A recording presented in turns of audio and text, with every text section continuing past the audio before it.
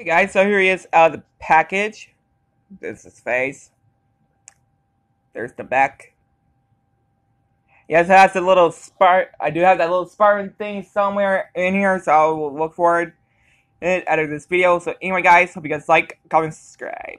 Before, like, I mean, I didn't mean to end the video. You get the, the last thing, you guys. So anyway, now look at the details of this. Like, my goodness gracious! Like, look at that.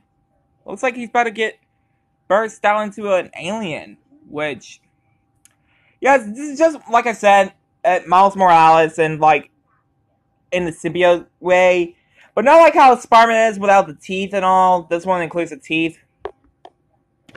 So anyway, guys, hope you guys like, comment, subscribe.